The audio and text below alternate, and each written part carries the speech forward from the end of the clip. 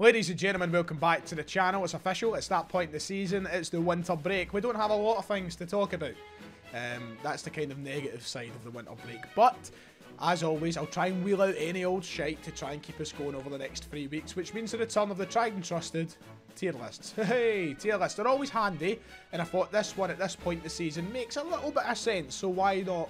Why don't we sit down and rate every Celtic player's season thus far. We're at the exact, well, not exactly, we're one game over, but we're at the halfway point stage, which is a sort of nice area to look at everybody and how they've performed in the opening half of the season. Everybody in a Celtic jersey, who's been good, who's been bad, and who do we expect more from in the last sort of six months of the season. Now, I know I've already rated players this season. I think it was like the first international or the second international break. I sort of rated them up until that point, but now we've had more game time. We've had bigger games in Europe. We've had a cup that we've won.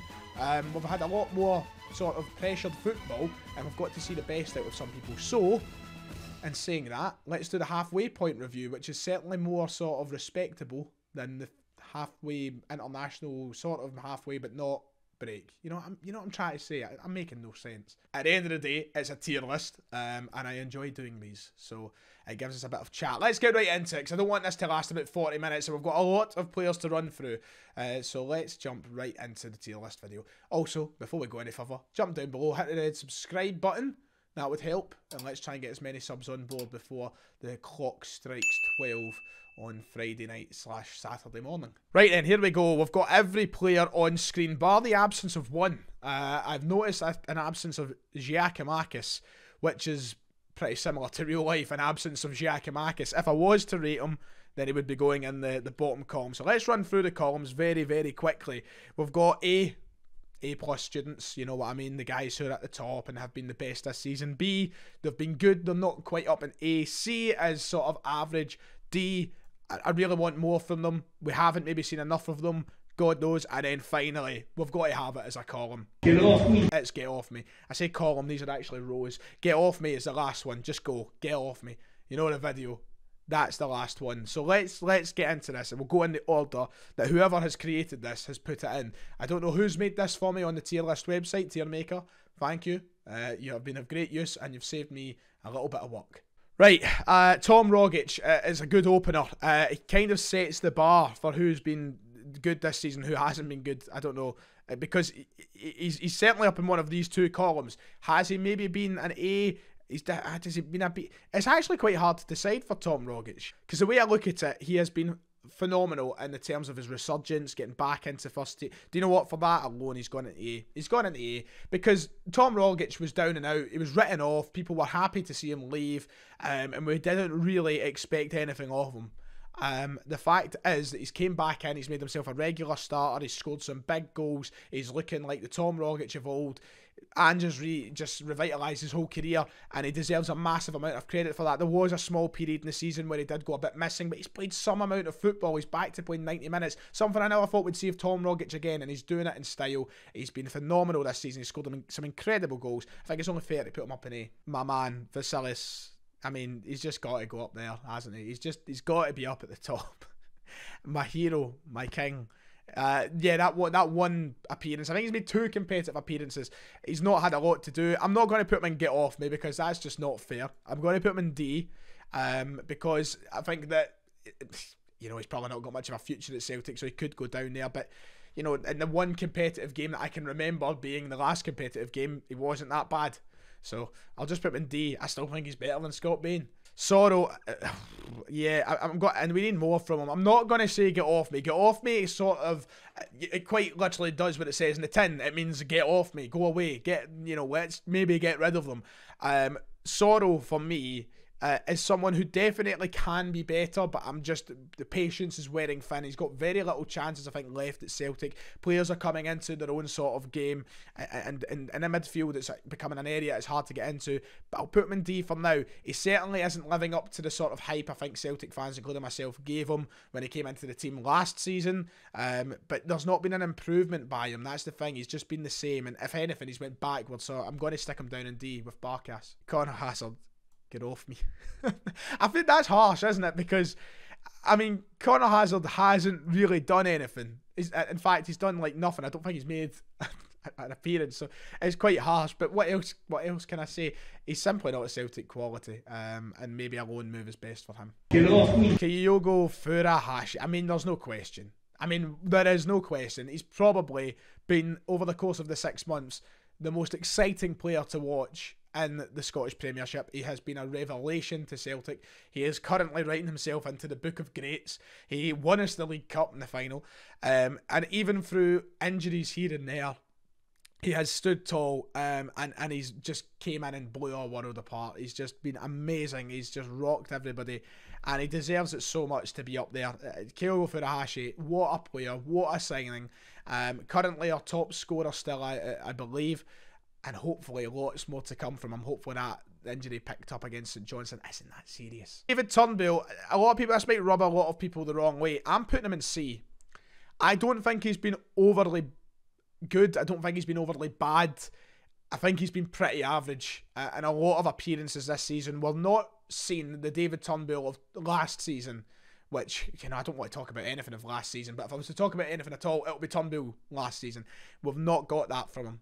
He's been very quiet. He's still kind of adjusting to this new role. I know he's out with injury now as well. Trust me, I love him. And I think he's had a couple of really good appearances. He had a hat trick early on in the season. He's scored another couple here and there as well. But I still think the best is yet to come this season of David Turnbull. I expect a lot more of him in the latter half. Um, there is talk of him maybe being out for a little while with an injury, so God knows when we'll get to see him back in the team. But I don't know. Rogic has definitely been a level above him, and I feel like if I have Turnbull in here, uh, that would be offensive to Rogic because I think he's been miles better. So that's why I'm putting Turnbull down in C. Well, this is just unfair, isn't it? Julian being in here. I, I mean, should, should I just leave him out? I'll put him in D just now. I mean, he's not played yet. he's, not, he's not back from injury. He's still out. He has returned to training, thank God. Hopefully, we see him post winter break. But um, I don't have anything to say about Julian. I don't even feel like I should be including him on this list. Bolly Bolingoli, a, a very weird one. He's came into the team a couple of occasions. He came on against he came in against Livingston when we were beat, but he was probably the best player in the park for Celtic. Probably says a lot about us that day. He also came in for another start at Celtic Park. I can't remember who it was against, maybe Motherwell or something. And we've not. And uh, they were just out of nowhere. There was no explanation why he was there. There was no explanation why he wasn't there the next week. Bolingoli is someone whose future is very uncertain at Celtic. I'm going to put him in D because he's not exactly done anything to deserve me saying, "Well, get off me." He's just not getting any chances. D seems suitable for Bolingoli, but I'd imagine that his days at Celtic aren't going to last much longer. Michael Mikey Johnson. yeah, I need to put him in there. Look, if you've been watching me long enough, Never been a massive fan of Mikey Johnson. I don't think that he's done himself any favours this season with the chances he's been given. He's been given chance after chance recently, and he hasn't stepped up. I simply don't believe he's Celtic quality. Maybe we ship him out on loan for this six months. Hopefully, he comes back as a player who can offer us something uh, in the future. But right now, Mikey Johnson, he's not good enough to play for Celtic. And I, I, really want him to be. Don't get me wrong, I really want him to succeed. But it's just every you know, how long can we say that for? For me, he goes in there. Josip Juranovic, I am putting up into B. I think he's been a fantastic signing. Um, I think it really, really good. There's still some things he has to iron out about his game, but one thing about Juranovic is the, the job he's been asked to do since coming in. He was signed as a right back. He's not played as a right back at all, basically. Um, he's been playing at left back. He's been playing at left mid. He's been playing at right mid he's been all over the place and he's done all of those jobs really, really well. The reason he's probably not up in A is because I still think there's a lot to go for him. If you remember his penalty against Leverkusen, that's the standout for me, especially being there in the ground. But you know, there's still a lot for him to do. I feel sometimes he's very sloppy with his passing, and sometimes he gives it away too easily. But and maybe defensively, he still has a lot more to show us. But going forward, he's fantastic. He's he's crossing is brilliant. We've seen him on set pieces. He looks good too. I've really enjoyed the signing of Josip Juranovic, and I think that by the end of the season, we'll probably see him up here in A, but for now, I'm going to stick him in B. James Forrest, let's just be honest about it. He's down there. Um, very unlucky. Not his fault that a lot of these injuries have been piling up on him and it's been keeping him from playing regular football, but the chances that he has had so far since playing for Celtic this season, he's not impressed me. Um, and it's worrying because obviously James Forrest is getting on a bit. He's 30, 31 years old, I think. Um, he's getting a little bit older. How much longer has he got as a, a starter at Celtic? Never mind, even you know this. This could be the start of the kind of we'll see this sort of edging out of Forrest in the team if he doesn't come back and have an impact. He's not a player who Ange Postecoglou bought or signed or anything like that. So you know, it's it's it's a hard one for Forrest. I feel bad for him, but he hasn't impressed. And it's not so much down to him; it's probably more down to injuries hindering him, and it's been a struggle coming back into the team, the intensity as well, when he's missed out for so long. But that be, that being said, it, it pretty much summarises why he's in this this role for me. Trying to be really fair and trying to put like the top, the creme de la creme in A. You're only getting an A if you have been and, and Cameron Carter Vickers can arguably be an A because I think he's been probably the best centre half in Scotland this season. Celtic ultimately Celtic have the best defensive record in the league. They've kept the most clean sheets, I think, as well. Um, I'm not too sure on that one. I, I, probably need to fact check that. But he's been he's been the standout of the two.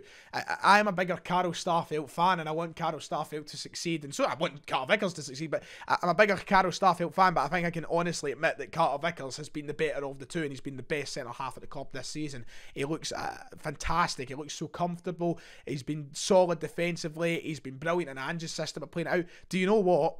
he's gone in at A. Why should he not go in at A? We talk about scoring goals and we score about we talk about assists and we talk about creativity, but sometimes you need to talk about the guys who are keeping the ball out in net and the defensive job they're doing. And this guy has been fantastic for us this season. So I'm going to stick him up in A. I really like Carter Vickers and I think it's fair. And talk about his partner, as much as I love him, I'm going to put him in C for now. I, I would love to put him up here. And a few weeks ago, if you asked me, he probably would have been up here in B. Um, but he has started making a few mistakes again. He has looked a little bit ropey. I think there's that nervousness still there for him. But Carl Starfelt is someone who has helped Celtic. He's improving the Celtic defence. Ultimately, defensively, as I've spoken about the record, it's been the best in the country um, across all top four all top four divisions. So he has been brilliant, and he'll definitely go up by the end of the season, I reckon. But right now, I'm going to keep him in C. Now, if you asked me before St Johnstone, James McCarthy would have definitely been in and get off me. I, am going to move him up to D for now because he's only had one good game for Celtic. That's all the expl- uh, explanation I need. He's still been a very weird signing, this four year contract. I'm hoping that, along with that good performance against St Johnstone, we see more of that as he moves forward as a player at Celtic. Uh, but for now, I think D is fair because he's, I mean, he's certainly not been better than anybody above him or on par with anybody above him. Um, there's still an argument he could be down here, but I'll be fair, I'll be nice, and I'll give him his chance, and I'll put him in D. I've got to be honest, Big Bitton's up here. He's into the B for me. He's been absolutely tremendous this season. Take away Midtjylland um, and the, the, early season mistake that that was, and, and we were all calling for him to be sold. He's came back into the centre of midfield and he showed why he was such a good player in the midfield all those years ago at Celtic. Bitton has been calm, cool, collected, and he's filled in when needed, when McGregor's been injured, when Turnbull's been injured, when Rogic has been injured, and he's done nothing really wrong, I think. There's been a couple of wee mistakes here and there, but he's certainly back to his best, I think, um, in the middle of the park, rather than being used as a centre back. I've been so impressed with his with his resurgence, just like, you know, Tom Rogic as well. Um, and I think it's only fair to put him up there. He's been better than Turnbull for me this season. I really do believe that. But his pal, Liel Abada, another one that goes up into B. Now, I know Abada splits a lot of opinion. I think a lot of people are really frustrated with him, but 10 goals, 8 assists. Uh, I believe that's the stats. Contri- contributed to 18 goals thus far this season at the age of 20 years old. He's been fantastic. Um, and I know that there was that kind of period where he lo- wasn't really up to much and it was quite frustrating as a player. You can't ignore the, the goals he's chipped into and how big they've been. Um, in, in all competitions. So for me, Abada goes up into there for being such a young guy and coming in uh, kind of as he was kind of the first guy, wasn't he? That, that Ange brought into this team.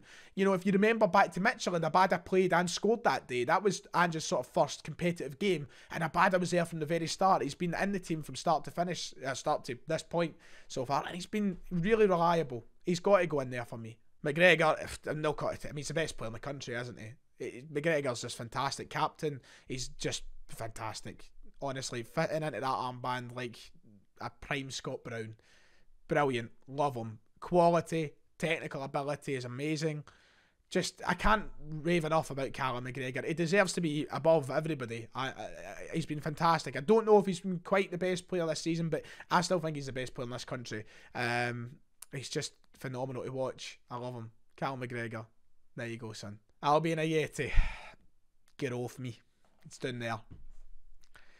He's not going to work at Celtic, is he? This we've we've gave him time, we've gave him patience, and I would love to see him pull through because he's someone that I advocated to sign for so long. If you remember back to the summer of the the the the the, the season before, and I was so buzzing that we were linked with him, and I was buzzing that we could sign him, and then we did sign him. I was even more buzzing. Then he got off to a flyer, and I was saying he would score twenty goals, and it's just not worked since, and I don't think it's going to work for Ajeti. Um, he's injured just now, of course, but I don't see much of a future, and quite frankly, he's had chance after chance. He's no quite what I'm just looking for. I think. Get off me, man. Give him his own column. Give him a give him a decent column. He's gone up into A. What a signing! And I, I just love how he's proved me an absolute dafty. And people will be laughing at me for saying so much shite about him when we were linked with him and how I didn't want him to sign for Celtic because he's doing so well. And I couldn't be happier because he's my favourite player in the team at the moment. Uh, I love Joe Hart. I've took an absolute admiration to him and he's just decent, isn't he? Greg Taylor is such a, a weird one. I, I, he's between C or D for me. I think it's harsh probably put him in C. I think he's been better than everybody below me here, so I'm going to put him in C. But we need a lot better. We really do, and that that's all I'm going to leave it at for Greg Taylor. I think. Right, same again. Uh, Giddy one competitive appearance, so I'm not going to be overly harsh on him. Very raw still, a long way to go, but we don't know when we'll see him next. So, what what else am I meant to say about Urhoghide? Uh, is there anybody else like that? No, I think everybody else has got quite a fair rating. I think. Stevie Stevie Welsh. Uh, I'm, I'm very low down in the camera, aren't I? Uh, Stevie Welsh. I am going to put in. I think he's a C. I think I'll put him in a C. Started the season not so great. Came on to a bit more of a game when we've needed him. He's been reliable and I'm, I'm, I'm, I'm glad that he's looking more confident as a Celtic player because I still thought for a long time he was way off the mark. He maybe needed another loan move, maybe he just wasn't Celtic quality, but he stood tall uh, when Starfelt was injured. Um, he came into the team and he done really well because I remember when he played against Livingston, I thought he was mince, but he got better as, as time has gone on. I still think he's got a long way to go. C, I think's fair. I'll put Stephen Welsh in there.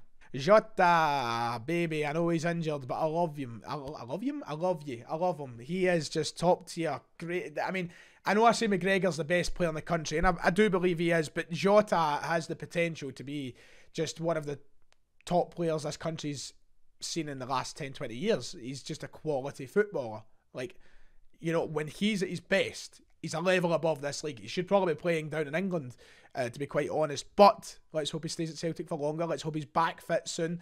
And let's hope he's ready to play against Rangers. But that boy is special. And he's been absolutely tremendous when he's played for Celtic. Now, I know the injury could maybe argue to bring him down here, but can't, can't ignore how good a player he's actually been. So he's up there for me. Montgomery's a weird one because I, I I want to see him get loaned out or something, so that would maybe suggest put him and get off me, but I think that's very harsh for a boy so young and uh, still so, such a long way to go in terms of development, so I'll put him in D as well.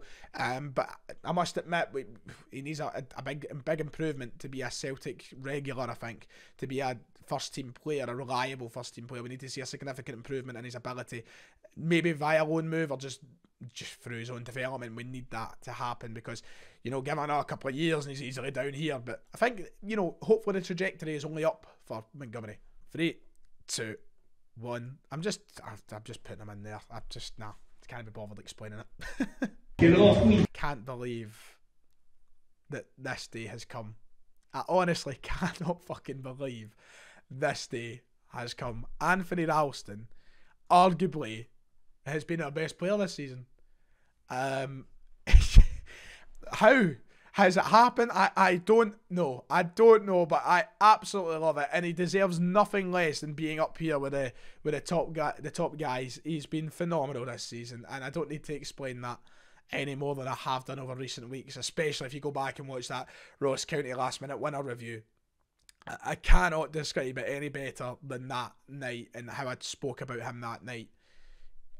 What an improvement! What I mean, most improved player of the year has already been won and it's him. But he's up there. He deserves to be there, and fair fucking play to him. And finally, the last player, Liam Scales. Scalesy, I'm putting him into Section C um, because I've been quite impressed with him um, the last few games he's played. Still, obviously, I think he's been pretty much the same kind of way I described, like, I don't know, Taylor and, and Turnbull. He's not been overly good. He's not been overly bad. I think right in the middle is fair. And that's what I think is a fair rating for all of the Celtic players thus far this season. There you go. That's my list. That is my tier list of players' seasons thus far. Let me know what you think in the comments below. Let me know what you agree with and what you disagree with. I think it's a pretty fair sort of um, judgment of how everyone has been. But obviously, everybody has a different opinion, and everybody's entitled to their own opinion. So let me know what you think and what you would change in the comments below. Thanks for watching. Like and subscribe. I'll see you all next time.